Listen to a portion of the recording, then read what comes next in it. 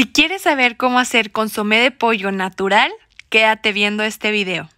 Comenzamos partiendo nuestra pechuga en rebanaditas así bien delgaditas, lo más delgaditas que se pueda, así se ve.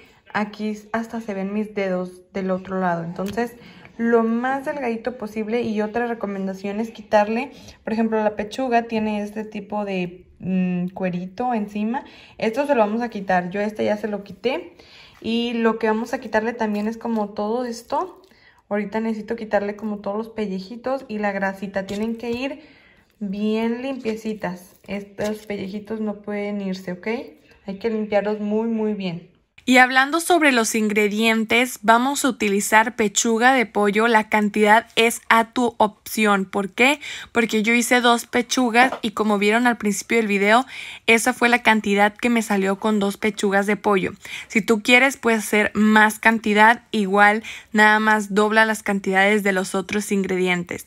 Los demás ingredientes que voy a estar utilizando son zanahoria. Yo utilicé una zanahoria, dos dientes de ajo, un puño grande de cilantro y como especias utilicé cúrcuma, paprika, sal y perejil en polvo. Esas fueron las especias. Una vez que terminé de cortar bien finito todo el pollo, voy a llevarlo a hervir en una olla con agua, cebolla, ya listo. Lo pongo el pollo y lo muevo un poco, agrego dos cucharadas de sal y este pollo va a estar muy rápido porque es demasiado delgado. Entonces, con cuatro minutos que esté ahí en el agua, está perfecto. Lo sacamos y vamos a retirar todo el exceso de agua en un colador como está caliente, también el agua se va a evaporar rápidamente si lo escurrimos muy bien. Voy a ir separando los pedazos más grandes y los vamos a llevar a la freidora de aire. Si tú no quieres o no tienes freidora de aire, puedes utilizar el horno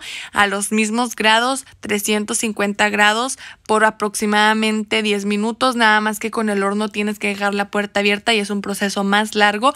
Por eso elegí usar la freidora de aire.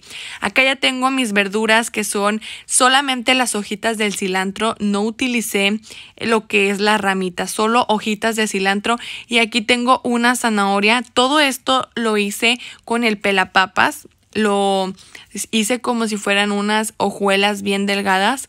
Como pueden ver, el ajo está rebanado en hojuelas bien delgaditas. Aquí les muestro que lo hice todo con este pelapapas. También la zanahoria igualmente la rebané así con el pelapapas. Entonces, por otro lado, el pollo lo metí 10 minutos a temperatura máxima de mi air fryer que son 350 grados Fahrenheit. Entonces quedó así como chicharrón. Está súper, súper crujiente. Eso es lo que buscamos. Una vez que el pollo ya está listo, que todo nuestro pollo estuvo listo, vamos a poner el cilantro. Este está muy rápido y vuela por todas partes, pero lo importante es que al final queda lo que tiene que quedar en la bandeja. Entonces no se preocupen si les vuela por donde quieran, nada más recojan si se tiró un poquito dentro del air fryer. Una vez que está listo el cilantro voy a poner el ajo y la zanahoria. Ustedes van a ver que se hace muy poquita cantidad y bueno, pues yo debí haber puesto más cantidad, pero pensé que con esta iba a estar bien. Y la verdad estuvo muy bien para la cantidad de pollo. Pero si van a hacer cantidades más grandes de pollo, les recomiendo que usen 2 a 3 zanahorias, 4 a 5 ajos. O sea, incrementen la cantidad de ingredientes. Esta fue la cantidad que me salió de dos pechugas.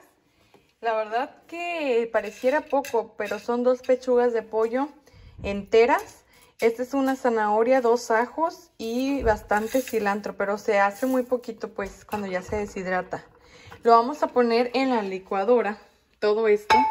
Vamos a ponerlo aquí en el vaso de la licuadora.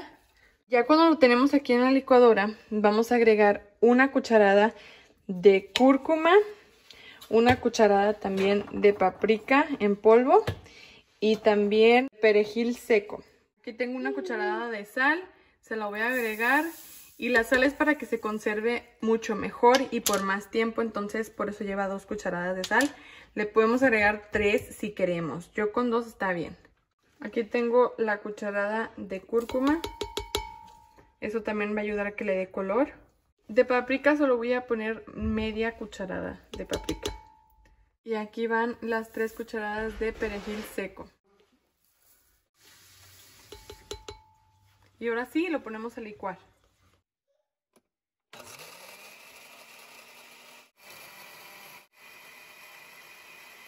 Quitamos el vaso y le damos así como que una mezclada y la volvemos a poner.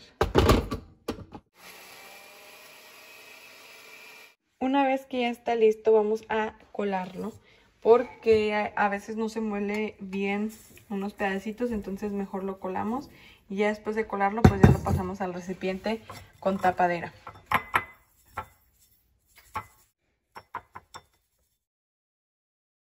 Así quedó el sazonador de pollo casero.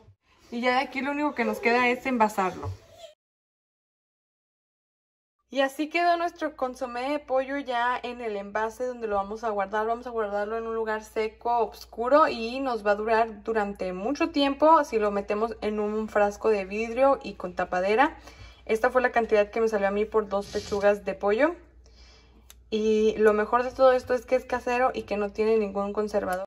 Anímate a hacer tu propio sazonador en casa porque la verdad es que sabe muy rico y sazona muy bien tu comida.